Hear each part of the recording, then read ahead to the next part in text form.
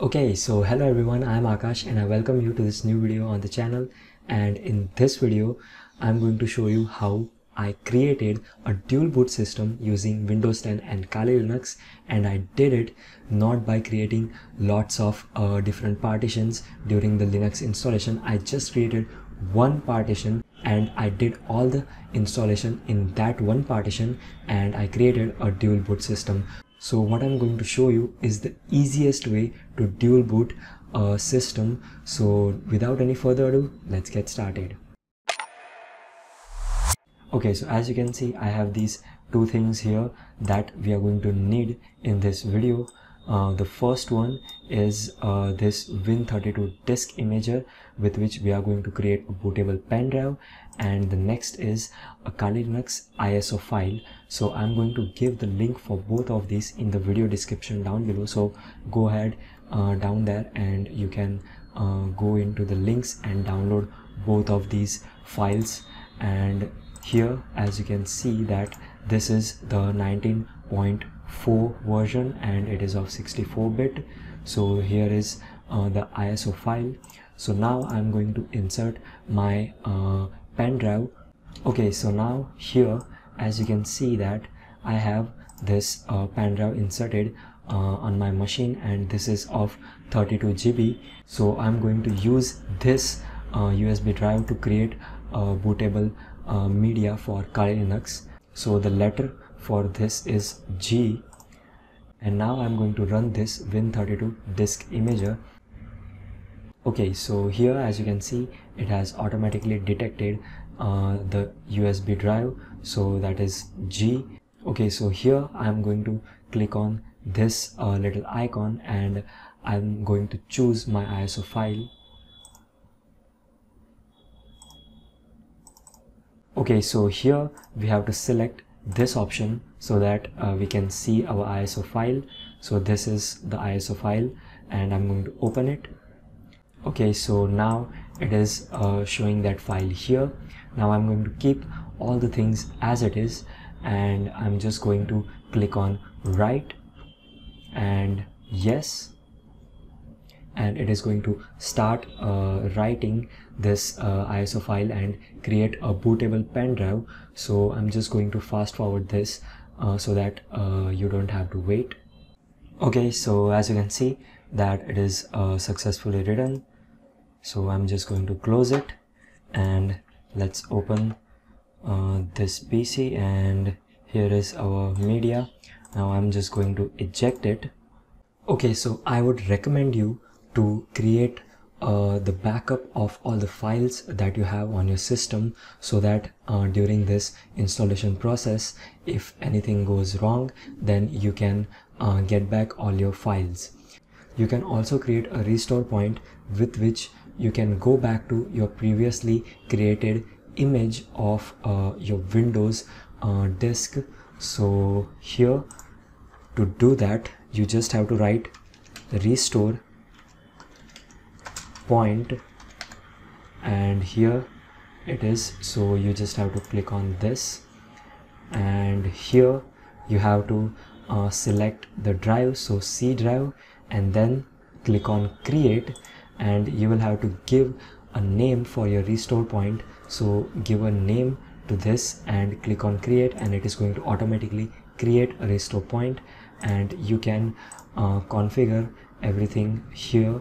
So this is how you can create a restore point and I would highly recommend to do all these things and uh, your files as well. So uh, during dual boot if anything goes wrong then uh, you have your own so in so during dual boot if anything goes wrong then at least you don't lose all your files. Okay so now i'm going to head off onto my laptop and i'm going to show you the dual boot process there. Okay so here i am on my uh, laptop and i have this freshly installed windows 10 on this laptop.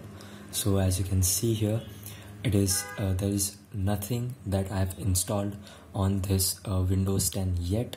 Okay so what I'm going to do is I'm going to shrink this C drive into half and I'm going to install the Kali on the other half. So I'm just going to go into uh, the manager. So I have right clicked on this PC and here I'm going to select manager.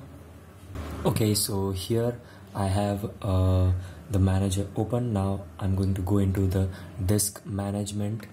So let me just zoom in. So here in disk management. So in that as you can see here this is our C drive. So I'm going to right click here. So I'm going to select here this shrink volume option.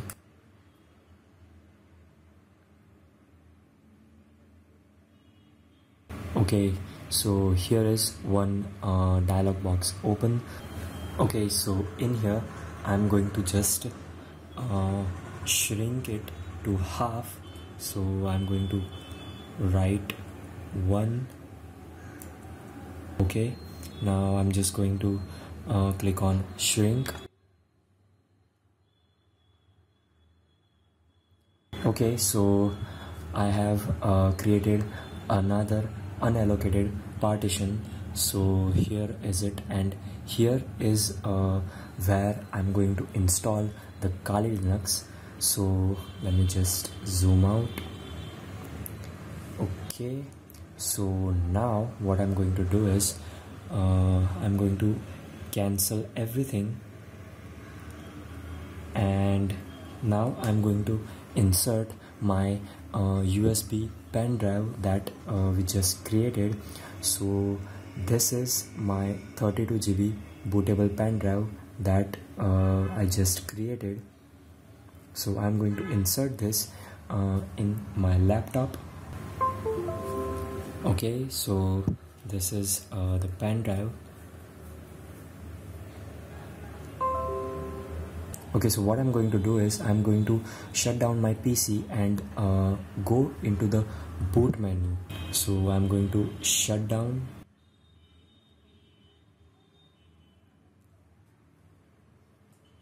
And to go into the boot menu what uh, we have to do is on my laptop I have this button.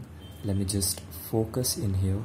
Okay so this is the button with which I can open the boot menu or uh, if I want to go into the BIOS setup then I can do that using this button on your uh, laptop it can be uh, located on a different place so you have to search it for yourself and on uh, desktop uh, you can just press the F10 key uh, for going into the boot menu or F2 for going into the BIOS setup.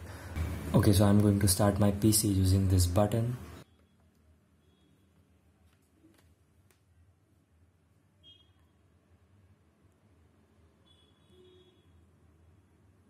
Okay, so as you can see here, we have the option for normal startup, then BIOS setup, then uh, boot menu, and then system recovery so I'm going to go into the boot menu okay so in boot menu I'm going to select my USB uh, pen drive. So this is the EFI USB uh, device. So I'm going to select this one. Okay so we are in uh, the boot menu for uh, Kali Linux. So here I'm going to go into the last option which says advanced options and enter and here I'm going to select the first option that says install in graphical mode. So again enter.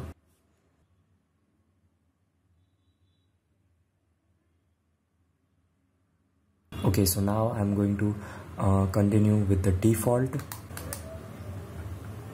And here I'm going to select India continue. Then I'm going to continue with the default one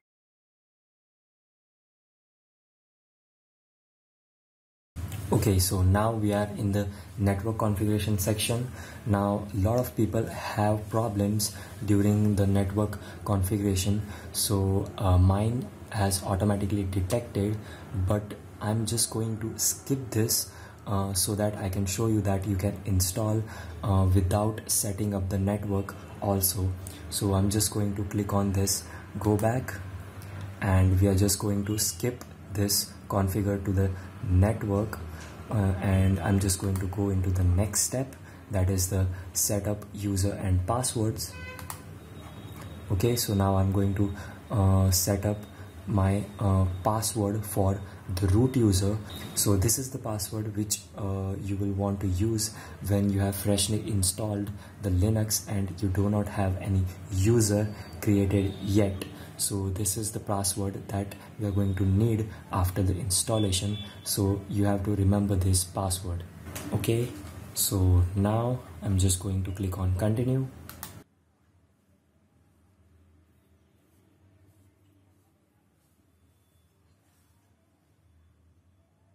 And it is again going back to uh, configuring the network but still I'm going to go back. And it was in the configure the clock. So I'm just going to skip that as well. And I'm going to go into the next step that is detect disk.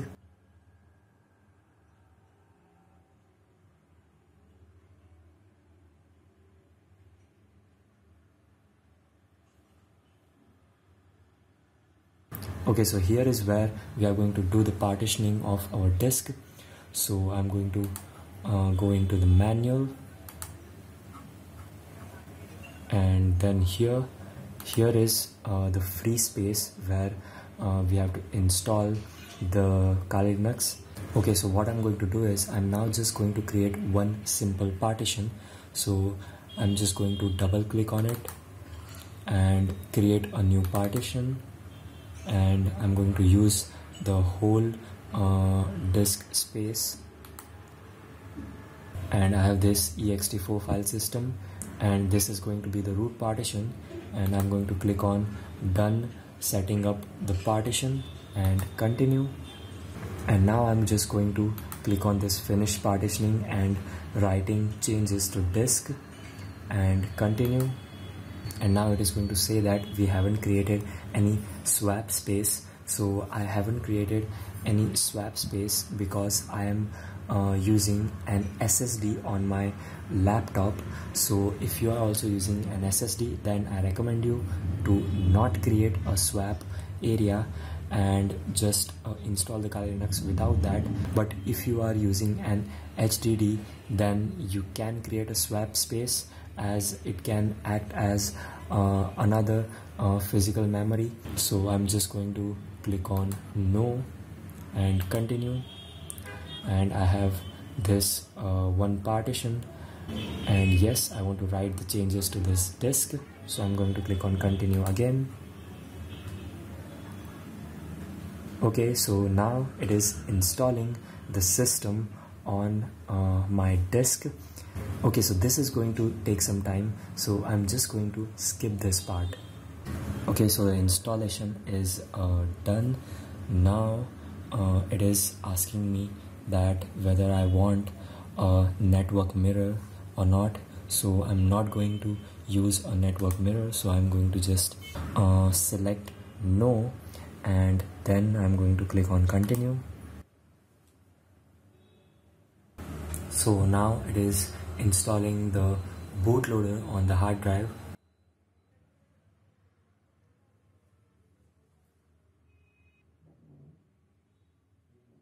Okay so installation is uh, finishing now so after the installation is finished uh, we'll be able to boot into Kali Linux as well as into uh, the Windows 10 system. So right now this is installing uh, the final things. And as you can see that it is finally completed uh, the installation and it is completed successfully. So now I'm going to click on continue. And now it is going to uh, restart the machine okay so it has restarted. Okay now as you can see here that we have the option for booting into Kali Linux that is the first option. And in the third option it says Windows boot manager. So we can boot into Windows as well. So let's first boot into Kali Linux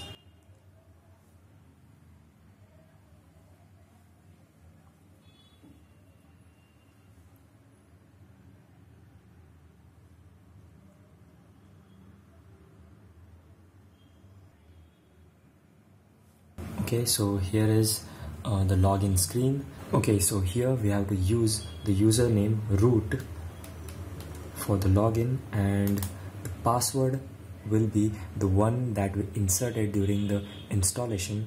So mine was 1 2 3 4 5 6 and login.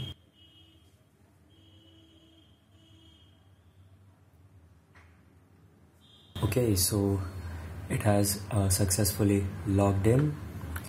And let's go into our home directory. Okay so now it is uh, showing us this another volume that is the windows volume. So if i open it then as you can see here uh, all the windows uh, files and folders are here. So this is uh, the windows 10 volume that it's showing. Now let's log out and i'm going to click on restart. So now we are going to uh, boot into the windows 10 so here I'm going to select this third option that is Windows Boot Manager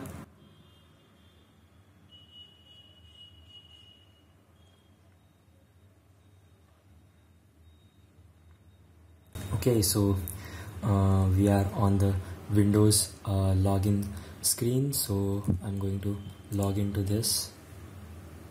Okay so here is uh, the Windows 10 okay so this is how you can create a dual boot system. Okay so as you saw just now that I created a dual boot system uh, with just creating one root partition during the uh, installation process so this is how you can create a dual boot system so this was the easiest way to dual boot Windows 10 and Kali Linux onto your system. So if you like this video then click on the thumbs up button and if you want to see more of these videos then click on that red subscribe button down below and that's it for this video and I will see you in the next one.